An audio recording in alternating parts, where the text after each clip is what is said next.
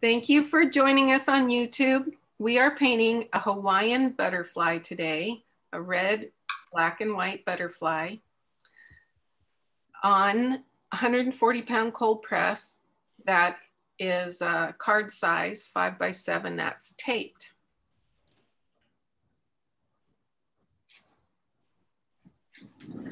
So this is a sample painting that I did. Here's the drawing. This one I did freehand. And then I drew it freehand and put PBO on the white spots and painted the background, then painted the butterfly. That's what it's gonna look like when we're done. And this one I traced this picture here. I traced it with non-water soluble graphite paper so that the lines would stay there. And then I put PBO on the white spots and that's been drying. So that's good. And I'm gonna get started. I'm gonna use my pencil brush and I'm going to wet everything but the butterfly. Just gonna wet around the butterfly. I've got a little bit of, looks like brown paint in my brush.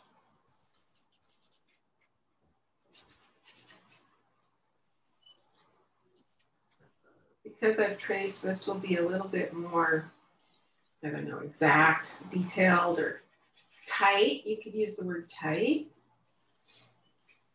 Then the last one that I did.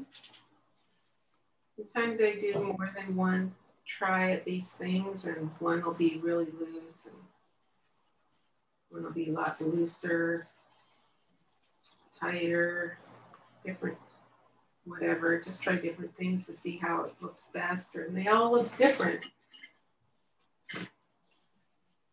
Okay, there's everything is wet with dirty water. I'm gonna start with phthalo yellow green. And I'm just gonna put that on. There's, it's, this is on some sort of leaf. That's this light green. Mainly light green.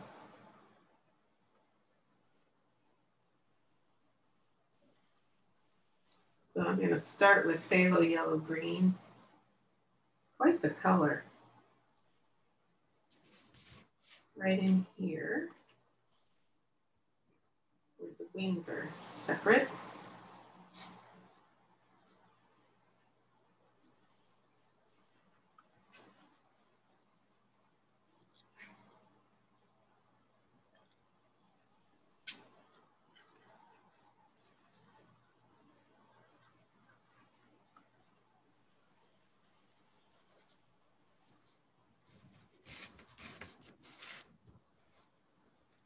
That can be sloppy over the, the part of the butterfly that's going to be black because the black ink, the black uh, paint will cover that up.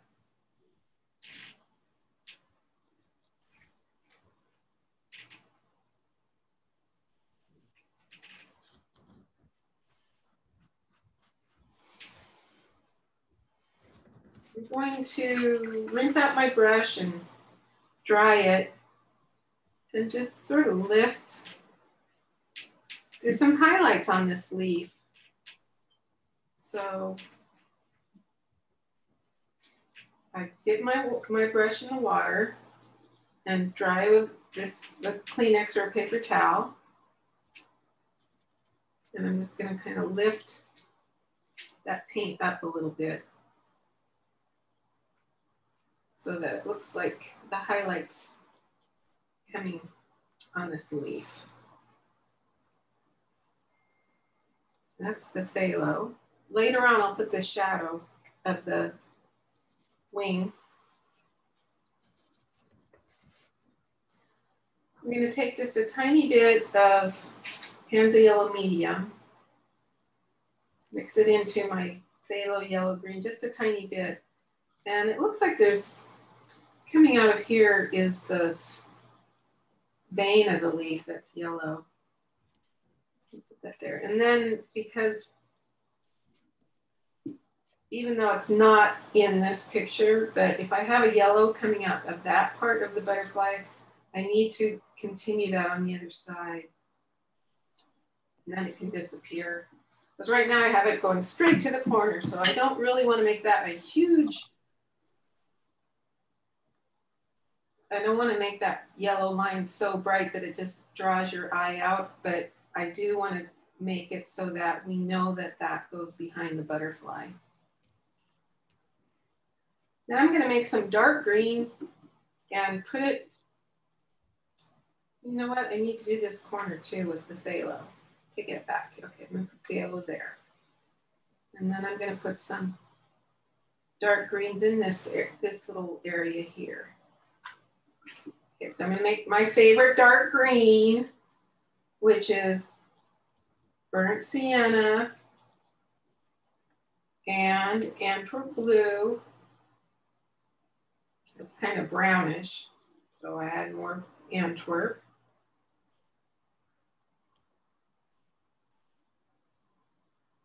There's that green I love.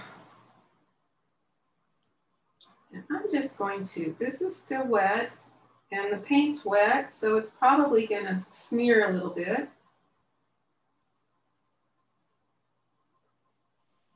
Blend into the phthalo yellow green that's already there. I'm going around that edge, although I don't have to be too careful because like I said, that part's gonna be black.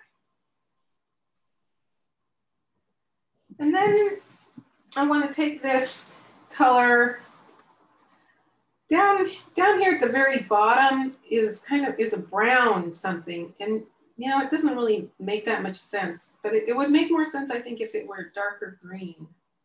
So I'm just gonna turn this little corner into darker green too, rather than a brown.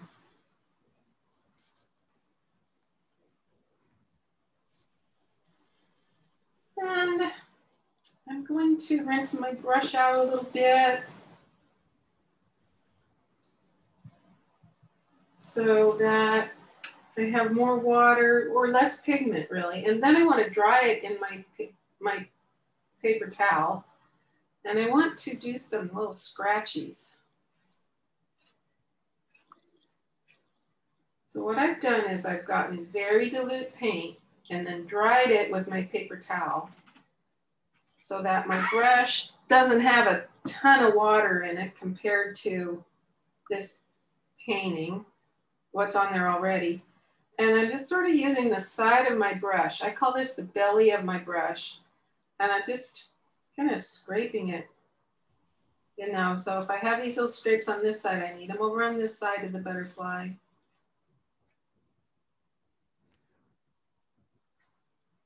It's trying to make it look like there's some texture on that leaf.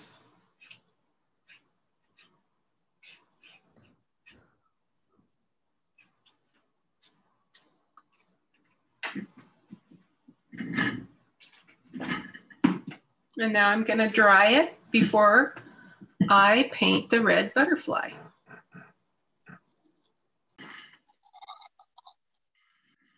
I just dried this with the blow dryer. And now what I'm gonna do, I said I was gonna paint the butterfly, but before I do that, I'm gonna paint the shadow of the, of the wing on the leaf. And really that's just the same dark color that I made, this dark green. So it's just this uh, shape. Little shadow right here.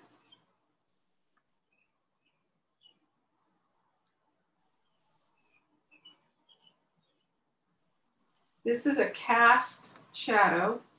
So the, we're assuming that the sun is coming from above and the left.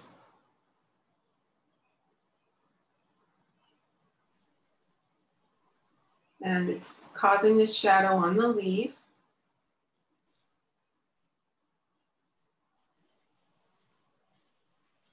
And there's just a tiny little shadow right on the edge of this wing. Might have made mine a little thicker because I pushed down too hard.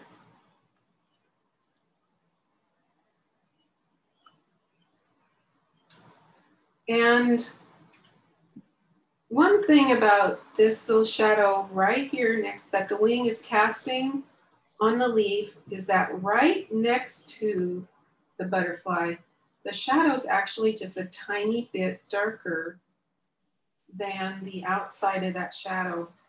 And that's because the light from the leaf is actually reflecting onto the shadow a little bit.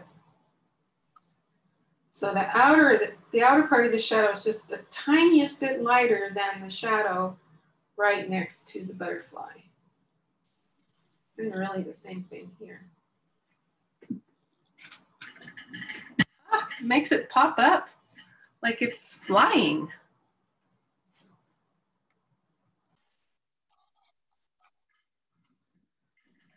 Now the thing I'm gonna do now is paint this bright red part of this butterfly. And I can really paint the whole thing and then just dull down the inside.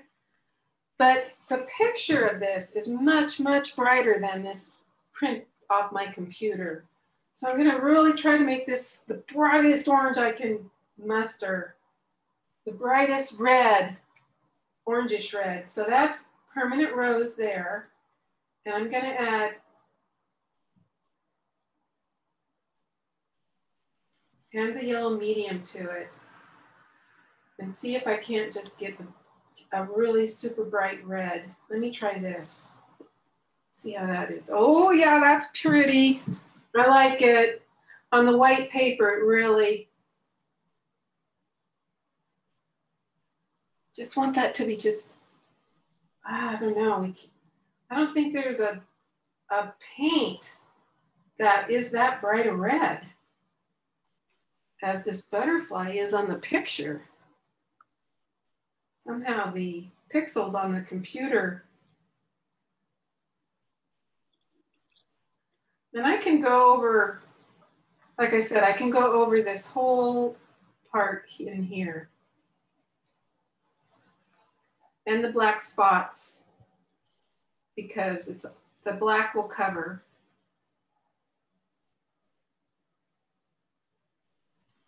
And then we'll just put some browns over the body and the kind of boring part of the wing, red wing, the little head. That's gonna be a black spot.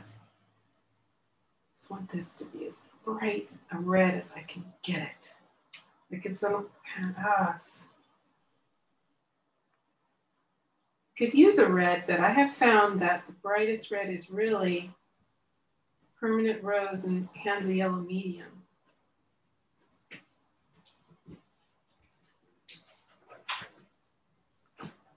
Seems kind of weird that those make a brighter red than any red that you can buy, but I have found that.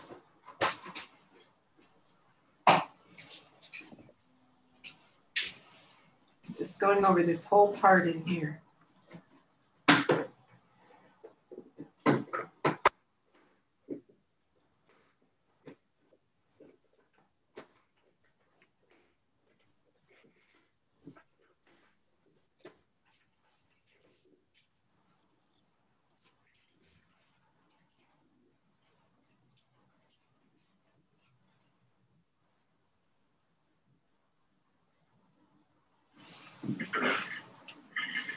That's red.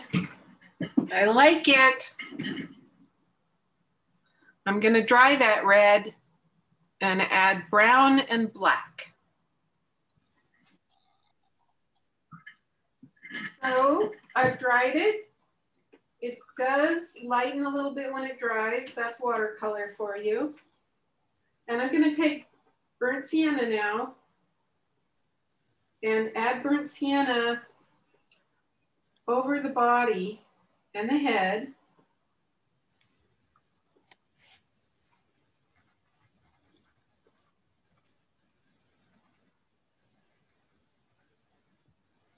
It's almost like a moth.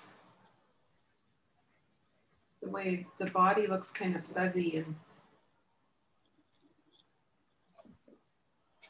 that's the, just the body with burnt sienna. And I'm gonna add a little bit of either French ultramarine blue or Payne's gray into that burnt sienna. I'm adding French ultramarine blue and it makes a darker brown. And while the body is still wet from the burnt sienna on it, I'm gonna add a little bit of dark brown to the right side of the body. And I'm going to put a little bit across the head. I'm going to draw those two little, you know, I honestly don't know what they are, but they look like two teeth, two brown teeth. They're not the antenna, they're these teeth. I don't know what they are, but they're these little spiky things coming out of the head.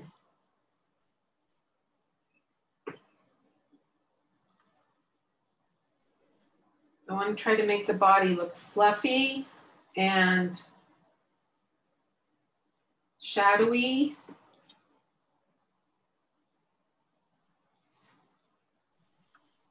And round by darkening the side, the right side, and keeping the left side kind of light and make it look like it has a, a form, like it's round. And then there's this part of the butterfly before that bright red part that is kind of orange, uh, brownie.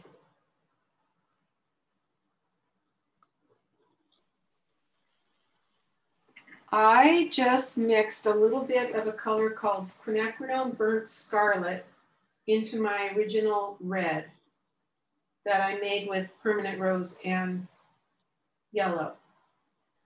What I'm gonna, and if you don't have that, just add a little bit of burnt sienna. And now I'm going to paint next to the body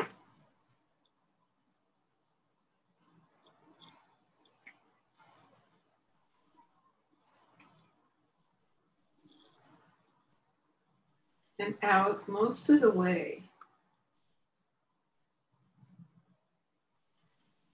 There's some black lines that change.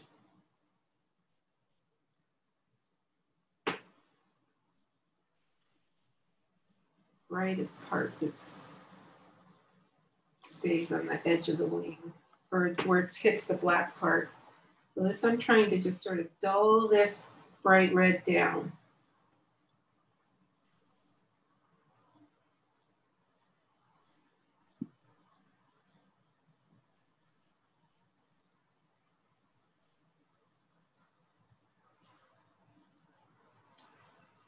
I'm going to add a little bit burnt, uh, burnt sienna to that. So it didn't quite get it dull enough for kind of the brownie color that it is. It's almost exactly the same color as the body. This color from the body out to the bright red.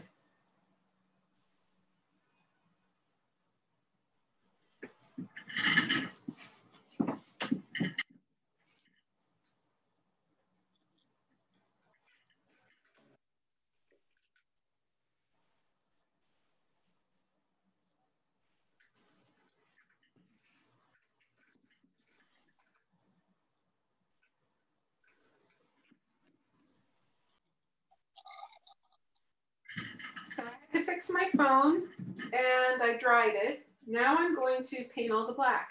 And the black that I'm going to use is called Payne's Gray. If you don't have Payne's Gray, you can make black with French ultramarine blue and burnt sienna. So I'm just going to paint my black part of the wings now. This makes me want to go to Hawaii.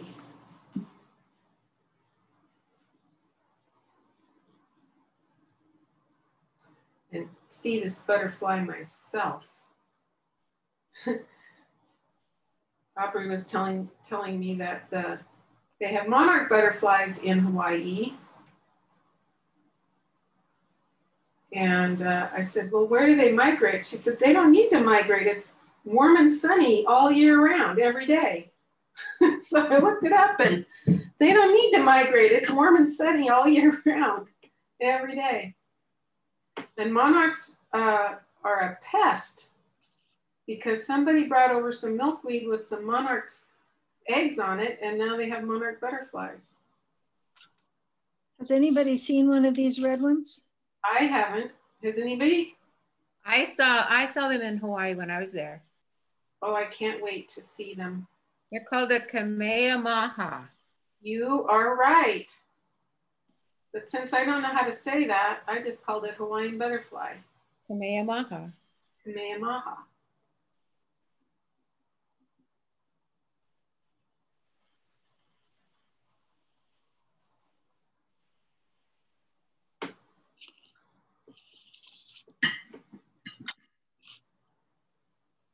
Probably a little bit boring to watch me paint this. I'll pause the video. So I finished up with the, the all the black part and the spots. I tried to make a nice skinny antenna, but I got a fat one instead. And I've dried it with the blow dryer. So now I'm using my pickup. This thing's called a pickup. And it's gonna take off the PBO. With any luck at all, I'm gonna have these beautiful white spots.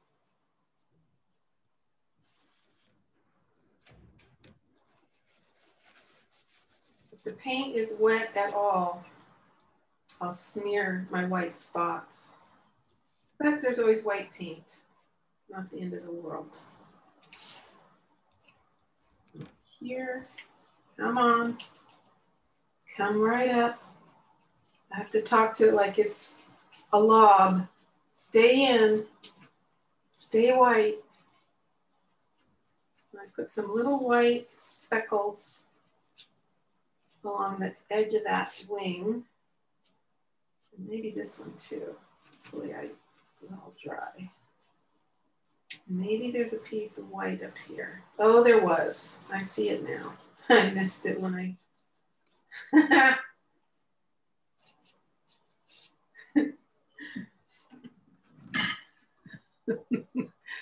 uh, I'm laughing because I did PBO the top of my antenna with a little bit of white actually, it kind of is okay. So there we have it. And I'll take the tape off.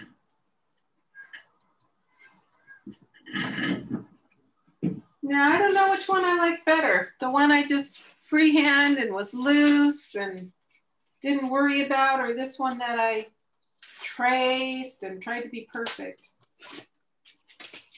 I think they kind of capture the feel of the butterfly either way. I didn't sign this one, but I could sign it with a pen. There it is. I like the bright color better.